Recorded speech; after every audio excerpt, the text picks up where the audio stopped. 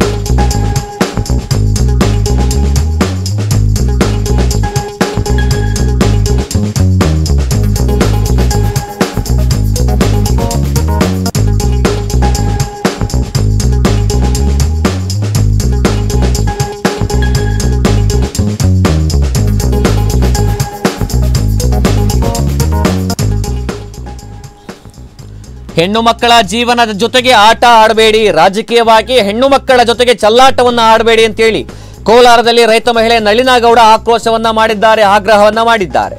ಪ್ರಜ್ವಲ್ ರೇವಣ್ಣನ ವಿರುದ್ಧವಾಗಿ ಗುಡುಗಿರ್ತಕ್ಕಂಥದ್ದು ನಳಿನಾಗೌಡ. ಬೇಲಿನೇ ಎದ್ದು ಹೊಲ ಮೇದ್ರೆ ಹೇಗಿರುತ್ತೆ, ಹಾಗಾಗಿದೆ ಪರಿಸ್ಥಿತಿ.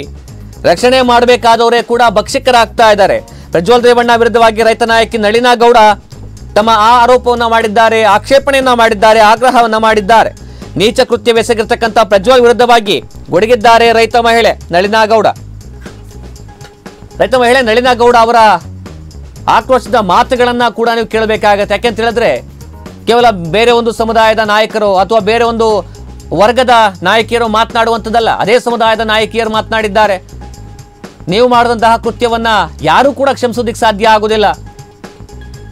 ಇಂತಹ ಒಂದು ಅಶ್ಲೀಲವಾದಂತಹ ವಿಡಿಯೋಗಳನ್ನ ಶೇರ್ ಮಾಡ್ತೀರಾ ಅಂತ ಹೇಳಿದ್ರೆ ಪೆನ್ ಡ್ರೈವ್ಗಳಲ್ಲಿ ಒಂದು ಅವರನ್ನು ಬೆದರಿಸೋದಕ್ಕೋಸ್ಕರ ವಿಡಿಯೋ ಮಾಡ್ತೀರಾ ಅಂತ ಹೇಳಿದ್ರೆ, ನಿಮ್ಮ ಮನಸ್ಥಿತಿ ಹೇಗಿರಬೇಕು?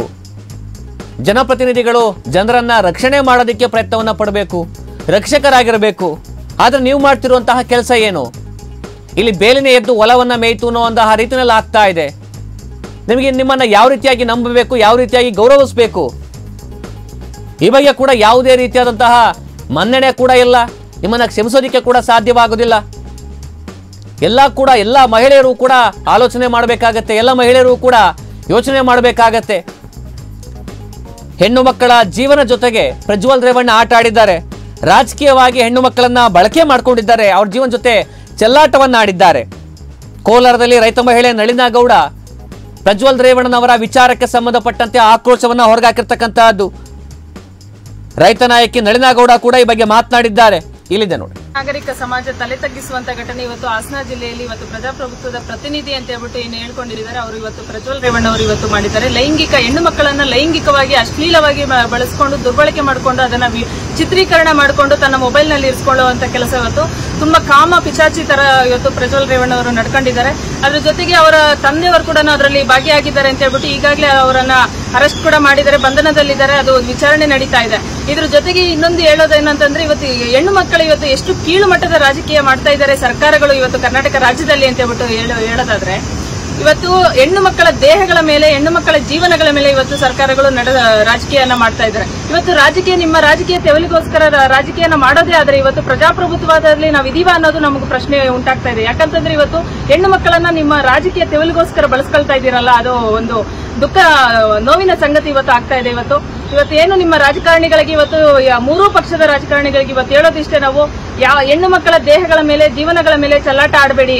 ನಿಮ್ಮ ಮನೆ ಹೆಣ್ಣು ಮಕ್ಕಳಾದ್ರೆ ನೀವು ಇದೇ ರೀತಿಯಲ್ಲಿ, ಅದೇ ಸ್ಥಾನದಲ್ಲಿ, ಆ ಸಂತ್ರಸ್ತೆಯರ ಸ್ಥಾನದಲ್ಲಿ ನಿಮ್ಮ ನಿಮ್ಮ ಮನೆ ಹೆಣ್ಣು ಮಕ್ಕಳು ಇದ್ದಿದ್ರೆ ನೀವು ಇದೇ ರೀತಿಯಲ್ಲಿ ಹೇಳಿಕೆಗಳನ್ನ ಕೊಡ್ತಾ, ಹೇಳಿಕೆಗಳನ್ನ ವಿಡಿಯೋಗಳನ್ನ ಜಾಲತಾಣಗಳಲ್ಲಿ ಅರಿಬಿಡ್ತಾ ಇದ್ರ ಅಂತ ಹೇಳ್ಬಿಟ್ಟು ಇವತ್ತು ರಾಜಕಾರಣಿಗಳಿಗೆ ಅಥವಾ ಯಾರು ಹಂಚಿ ವಿಡಿಯೋಗಳನ್ನ ಹಂಚೀಕರಣ ಮಾಡಿದಾರೆ, ಅವರ, ಅವರಿಗೆ ಇವತ್ತು ಪ್ರಶ್ನೆ ಮಾಡ್ತಾ ಇದ್ದೀನಿ. ಇನ್ನೊಂದು ಇವತ್ತು ರಾಜಕ ಸರ್ಕಾರ ಹೇಳ್ತಾ ಇದೆ, ನಾವು ಸೂಕ್ತವಾಗಿ ತನಿಖೆ ಮಾಡ್ತಾ ಇದೀವಿ ಅಂತ ಹೇಳ್ತಾ ಇದ್ದಾರೆ. ಸೂಕ್ತವಾಗಿ ತನಿಖೆ ಮಾಡಿ ಸಂತ್ರಸ್ತೆಯರಿಗೆ ಸೂಕ್ತವಾದ ರಕ್ಷಣೆ ಕೂಡ ಇವತ್ತು ಕೊಡಬೇಕಾದಂತ ಸರ್ಕಾರ ಜವಾಬ್ದಾರಿ ಇವತ್ತು ಸರ್ಕಾರದ ಮೇಲಿದೆ. ಅದ್ರ ಜೊತೆಗೆ ಇವತ್ತು ಹೇಳಿಕೆ ರಾಜಕಾರಣಿಗಳ ಹೇಳಿಕೆ ಹೆಂಗಿದೆ ಅಂತಂದ್ರೆ ಇವತ್ತು ನಿನ್ನ ಮುಗ ಮು- ನಾನು ಮಾಡಿದೆ, ನನ್ ಮುಳುಗ್ಸ್ಕೋದಕ್ಕೋಸ್ಕರ ನೀನ್ ಮಾಡಿದೆ ಅಂತ ಹೇಳ್ಬಿಟ್ಟು ಹೇಳುವಂತ ಹೇಳಿಕೆಗಳು ಇವತ್ತಾಗಿದೆ. ಇವತ್ತು ಒಂದು ಒಬ್ಬ ರಾಜಕಾರಣಿ ಹೇಳ್ತಾರೆ ಇವತ್ತು ಡಿ ಕೆ ಶಿವಕುಮಾರ್ ಒಂದು ಕೈವಾಡ ಇದೆ ಇದರಲ್ಲಿ ಅಂತ ಹೇಳ್ಬಿಟ್ಟು ಹೇಳ್ತಾ ಇದ್ದಾರೆ. ಇವತ್ತು ಏನ, ನಾವ್ ಹೇಳೋದಿಷ್ಟೇ, ಯಾವುದೇ ಸರ್ಕಾರ ಆಗಿರ್ಲಿ, ಯಾರದೇ ಕೈವಾಡ ಇರಲಿ, ಡಿ ಕೆ ಶಿವಕುಮಾರ್ ಆಗ್ಬೋದು, ಪ್ರಜ್ವಲ್ ರೇವಣ್ಣ ಆಗ್ಬೋದು ಶಿವ, ಶಿವಾನಂದ ಗೌಡ್ರ ಆಗ್ಬೋದು ಇನ್ಯಾರೇ ಆಗಿದ್ರು ಕೂಡ ಇವತ್ತು ಯಾರು ಈ ತನಿಖೆ ಪ್ರಕರಣದಲ್ಲಿ ಭಾಗಿಯಾಗಿದ್ದಾರೆ ಎಲ್ಲರನ್ನು ಕೂಡಲೇ ತನಿಖೆ ಮಾಡಿ ಕೂಡಲೇ ಬಂಧನ ಮಾಡಬೇಕು ಅಂತ ಹೇಳ್ಬಿಟ್ಟು ಇವತ್ತು ಹೇಳ್ತಾ ಇದೀವಿ ಇವತ್ತು ವಿಡಿಯೋಗಳನ್ನ ಚಿತ್ರೀಕರಣ ಅಶ್ಲೀಲವಾಗಿ ವಿಡಿಯೋಗಳನ್ನ ಚಿತ್ರೀಕರಣ ಮಾಡೋದು ಎಷ್ಟು ತಪ್ಪು ಅಂತಂದ್ರೆ ಅಷ್ಟೇ ರೀತಿಯಲ್ಲಿ ವಿಡಿಯೋ ವಿಡಿಯೋಗಳನ್ನ ಸಾಮಾಜಿಕ ಜಾಲತಾಣಗಳಲ್ಲಿ ಹಂಚಿಕೆ ಮಾಡೋದು ಕೂಡ ಜೀವ ಹೆಣ್ಣು ಮಕ್ಕಳ ಕೌಟುಂಬಿಕ ಜೀವಗಳನ್ನ ತೆಗೆದಷ್ಟೇ ಇವತ್ತು ತಪ್ಪಾಗಿದೆ. ಇವತ್ತು ನೂರಾರು ಇವತ್ತು ಹೆಣ್ಣು ಮಕ್ಕಳು ಇವತ್ತು ಆ ಆ ವಿಡಿಯೋಗಳಲ್ಲಿ ಇರುವಂತ ಹೆಣ್ಣು ಮಕ್ಕಳು ಮುಂದೆ ಸಮಾಜದಲ್ಲಿ ಯಾವ ರೀತಿಯಲ್ಲಿ ಓಡಾಡಬೇಕು? ಅವರು ಸಮಾಜದಲ್ಲಿ ಅವ್ರ ಕುಟುಂಬದ ಜೊತೆ ಯಾವ ರೀತಿ ಒಡನಾಟ ಇಟ್ಕೊಬೇಕು ಅನ್ನೋದ್ರ ಬಗ್ಗೆ ಒಂಚೂರು ಭವಿಷ್ಯದ ಬಗ್ಗೆ ಒಂಚೂರು ಕಾಳಜಿ ಇಟ್ಕೊಂಡು ಸರ್ಕಾರಗಳು ನಡ್ಕೊಬೇಕು, ರಾಜಕಾರಣಿಗಳು ನಡ್ಕೊಬೇಕು ಅಂತ ಹೇಳ್ಬಿಟ್ಟು ಇವತ್ತು ಹೇಳ್ತಾ ಇದೀವಿ. ಅದ್ರ ಜೊತೆಗೆ ಈ ಪ್ರಕರಣದಲ್ಲಿ ಯಾರೇ ಭಾಗಿಯಾಗಿದ್ರು ಕೂಡ ಡಿ ಕೆ ಶಿವಕುಮಾರ್ ಆಗ್ಬೋದು, ಪ್ರಜ್ವಲ್ ರೇವಣ್ಣ ಅಥವಾ ಇನ್ಯಾರೇ ಆಗಿದ್ರು ಕೂಡ ಕೂಡಲೇ ಬಂಧನ ಮಾಡಬೇಕು. ಅದ್ರ ಜೊತೆಗೆ ಇವತ್ತೇನು ಸಾಮಾಜಿಕ ಜಾಲತಾಣಗಳಲ್ಲಿ ಈಗಾಗಲೇ ವಿಡಿಯೋಗಳು ಅರಿವಿ ಹರಿದಾಡಿದಾವೆ ಅದನ್ನೆಲ್ಲನೂ ಕೂಡ ಡಿಲೀಟ್ ಮಾಡುವಂತ ವ್ಯವಸ್ಥೆ ಇವತ್ತು ಸರ್ಕಾರಗಳು ಮಾಡಬೇಕು. ಯಾಕಂತಂದ್ರೆ ಇವತ್ತು ಸಮಾಜದಲ್ಲಿ ಹೆಣ್ಮಕ್ಳು ಓಡಾಡುವಂತ, ಈಗಾಗಲೇ ಓಡಾಡುವಂತ ಪರಿಸ್ಥಿತಿ ಈಗಾಗಲೇ ಓಡಾಡುವಂತ ಪರಿಸ್ಥಿತಿ ಇಲ್ಲದೆ ಇರೋ ಇಲ್ಲದೆ ಆಗಿದೆ. ಹಂಗಾಗಿ ಕೂಡಲೇ ಇವತ್ತು ಏನ್ ಗೂಗಲ್ ಕಂಪನಿಗಾಗ್ಬೋದು ಅಥವಾ ವಾಟ್ಸ್ಆಪ್ ಕಂಪನಿಗಾಗ್ಬೋದು ಅಥವಾ ಫೇಸ್ಬುಕ್ ಕಂಪನಿಗಾಗಿ ಹೇಳ್ಬಿಟ್ಟು ಸರ್ಕಾರ ಇವತ್ತೇನು ಸಾಮಾಜಿಕ ಜಾಲತಾಣಗಳಲ್ಲಿ ವಿಡಿಯೋಗಳಿದೆ, ಅದನ್ನ ಸಂಪೂರ್ಣವಾಗಿ ಡಿಲೀಟ್ ಮಾಡುವಂತ ವ್ಯವಸ್ಥೆಯನ್ನ ಮಾಡಬೇಕು ಅಂತ ರೇವಣ್ಣ ಹಾಗೆ ಆತನ ಪುತ್ರ ಪ್ರಜ್ವಲ್ ರೇವಣ್ಣನವರ ಈ ನಡವಳಿಕೆಯಿಂದಾಗಿ ಸಾಕಷ್ಟು ಬೇಸರವನ್ನ ವ್ಯಕ್ತಪಡಿಸಿದ್ದಾರೆ ಮಹಿಳೆಯರು. ಅದರಲ್ಲೂ ಕೂಡ ಇಂತಹ ಒಂದು ಜೆ ಡಿ ಎಸ್ನ ಪಕ್ಷದಲ್ಲಿ ಇತ್ಕೊಂಡು ಅವರನ್ನು ಈ ರೀತಿಯಾಗಿ ತುಚ್ಛವಾಗಿ ಬೆಳೆಸ್ಕೊಳ್ತಾರೆ ಅಂತ ಹೇಳಿದ್ರೆ ಎಷ್ಟರ ಮಟ್ಟಿಗೆ ಮಹಿಳೆಯರಿಗೆ ಭದ್ರತೆ ಇದೆ.